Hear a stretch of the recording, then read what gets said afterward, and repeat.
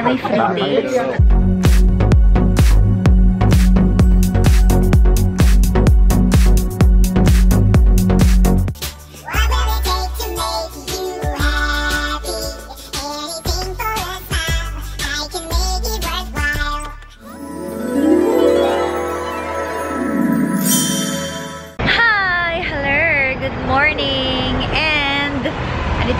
Ngayon sa labas. It's 6.30 in the morning. So, pupunta po kami ngayon ng Macau. Medyo pikit pa yung mata ko kasi medyo antok-antok pa ako. Kulang pa ako sa tulog. Pero, syempre, kailangan sundin yung pag-stay dito. So, eto. Ayan na sila. Gising na gising na rin po silang lahat. Yung iba nagbo-vlog, yung iba nag-pictorial. Ayan.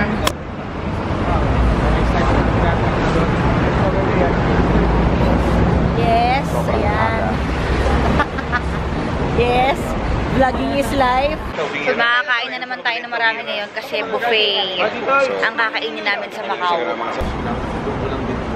Napakalamig po. Woo!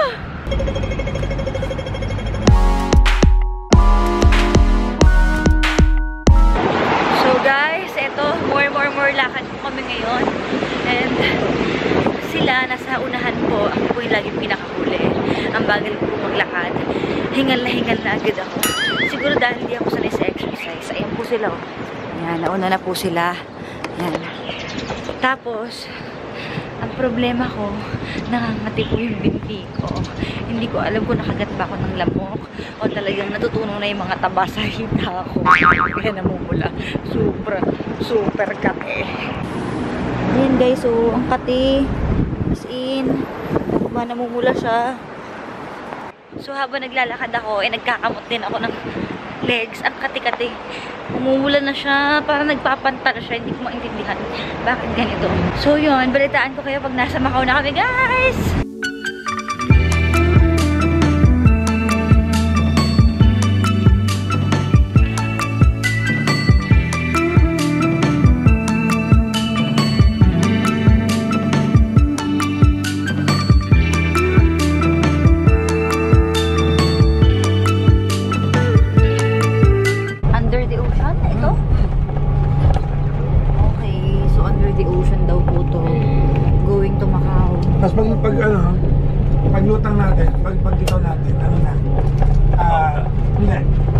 Yung Longest Bridge.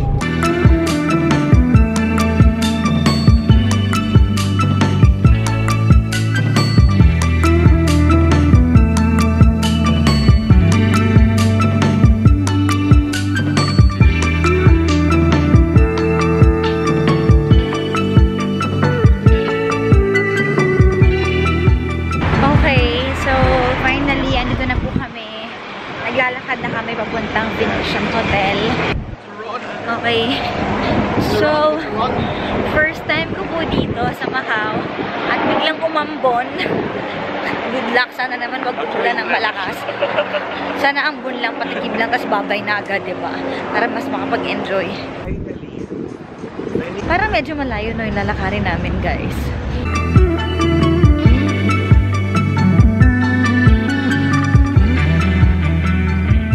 We, on the 13th of May, we have to make a big pilgrimage in Portugal to Fatima for the Roman Catholic people. And in Macau, we do the pilgrimage up there. Okay? That church, original one, is dated back 1622, but this is not the original one.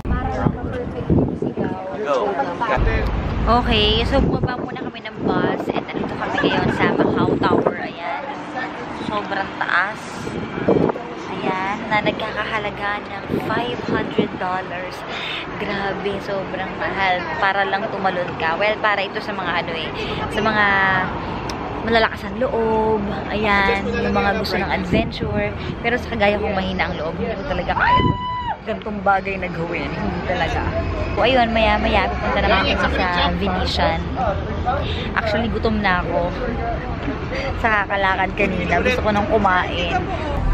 That's the first open door where China opens up for the Portuguese to trade with them. yeah? So sabi, the best pastry in town ay andito daw. Tikman natin yon. Tignan natin kung totoo. Tinatamaan na po ako ng gutom. Gusto ko na mag-buffet. At sobrang sakit po ng dibdib ko dahil sa ginawa sa akin challenge ni Papa Jackson. Kung gusto ko mapanood yan, puntahan niya lang yung channel niya. Basta, hindi ko muna sasabihin. Punta na lang kayo sa channel niya. Grabe yun. This is the lobster. That's the only place in Macau which is sell the lobster veggies. Anak lang to, kung meron sa Pilipinas niya. You can Lords, ano, Lords, sir? Meron niya sa Pilipinas. So, magkano kaya? Sana may free taste. Excuse me, I cannot give you a free taste in a Portuguese. Narinig ako. I cannot give you free taste. Sixty dollars for Dininig yung hinihiling ko. May free taste daw, may free taste. You can take two or three. But not four. Pwede take out. Bakit ganun? Parang ano, puto seko. Bakit pu- puto seko? Libre na nga, sinintasan niya. Sorry. Puto seko po ito. Yung masarap naman, pero lasang puto seko meron din sa Maynila. Puto seko ba to? Ano ba yung Pero puto seko to. Hindi. Pero lasang puto seko, di ba? Ito yung paggawa. Ganyan siya ginagawa, guys. Almond cookie. Ah, okay. Pero in fairness, may aftertaste. Saka malalasahan yung ano, sa dulo. Yung almond. Lasang buhangin. Okay, so bibili na natin yung egg tart. 10 $10. dollars. Manghihingi po tayo ng pera. Magkano to? One. Anong ginawa nito? Three. Five. Five. Six. Seven, eight. 7, 8, 9, 10. So, meron na po akong 10. Pero may egg tart. Titikman po natin yung egg tart Ayan, ito na walang free. 10 lang. Bili natin. Kung anong lasa ng Portuguese egg tart. Portuguese egg tart. Uy, ano ba? Uy, hindi ko naintindihan. Tulungan mo ko. How many would like to buy? Only one, one. No, only one.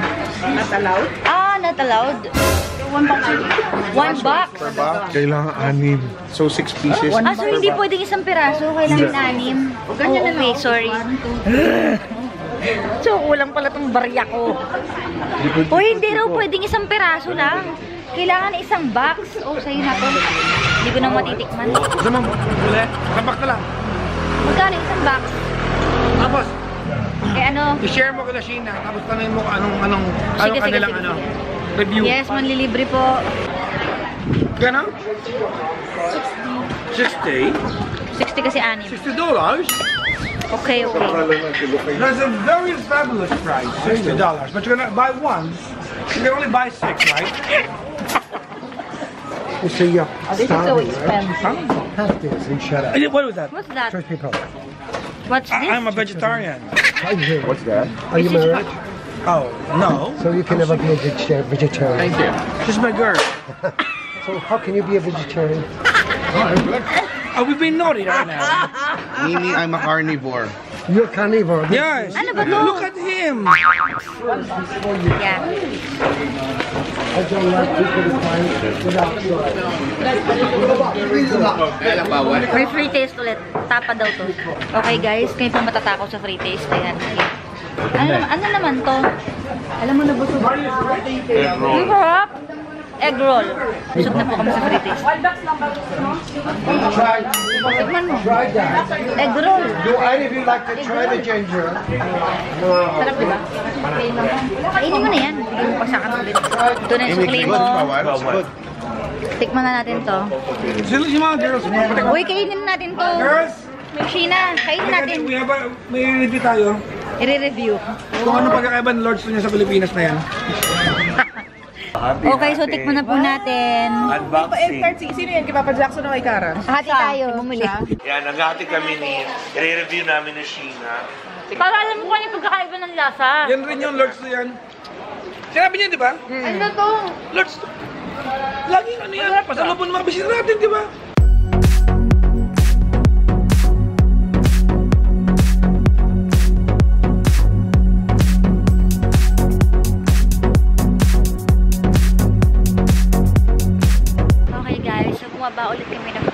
Bago daw kami mag-buffet, eh, picturean daw muna namin tong Lucky Shrine dito po sa Macau. So, eto siya. Pakita ko sa inyo. Excuse me.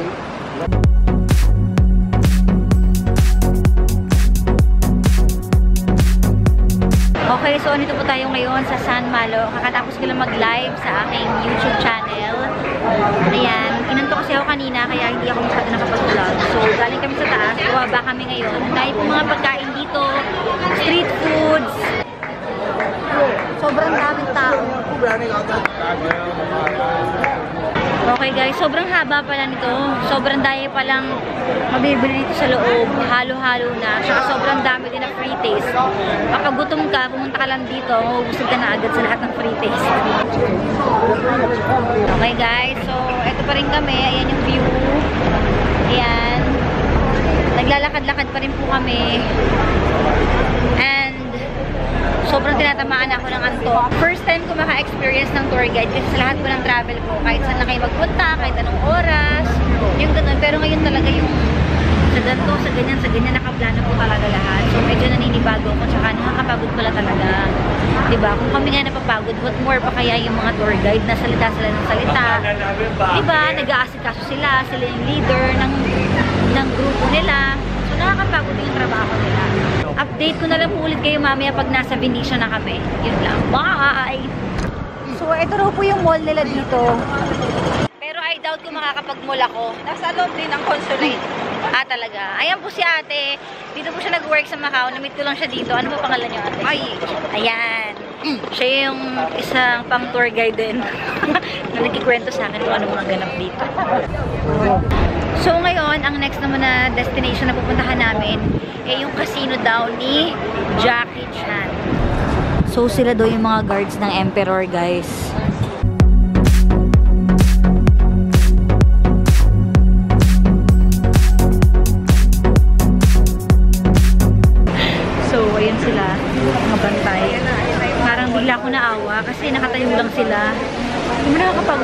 Yung ka lang. So, ito na daw yung mga gold bar.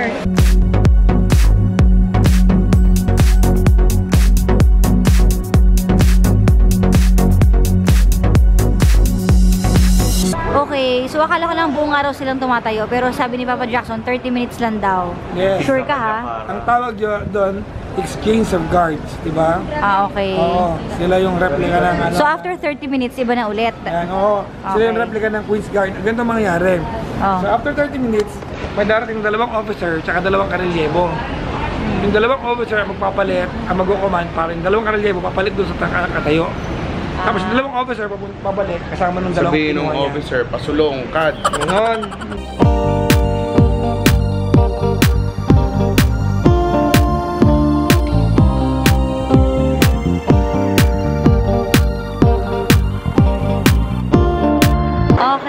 Finally, dito na kami ngayon sa Venetian. And nakaidlip ako sa bus, kaya may energy na ulit ako ngayon.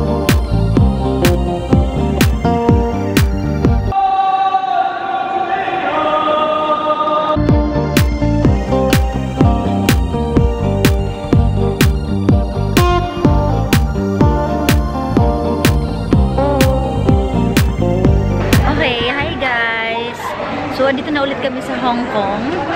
And pagod na pagod po kami sa biyahe. Ang dami naganap buong araw. Pero kung makikita nyo, may makeup na ako kasi nakitester po ako dun sa loob. o, diba? Libre lang. Kaya fresh na ulit. So, anyways, ayun na nga. Diyan na po nagtatapos ang ating araw today. Ang dami pong mga nangyari. Ang daming pagod. Ang daming gutom. Ang daming lakad. Ang dami din namang saya. Tsaka ang dami din namang kain. So, i-enjoy nyo lang po yung bawat moment ng mga travel nyo. Lalo na kapag kasama nyo yung mga friends nyo, mahal nyo sa buhay. Kasi you'll never know kung kailan ulit mauulit yung ganung mga moment. So, pag may travel kayo, enjoy nyo lang, diba? Ganun lang. Anyways, eto, pauwi na ako sa bahay. So, yun lang. Maraming salamat sa inyong panonood. Siyempre, subscribe! Thank you so much. Bye!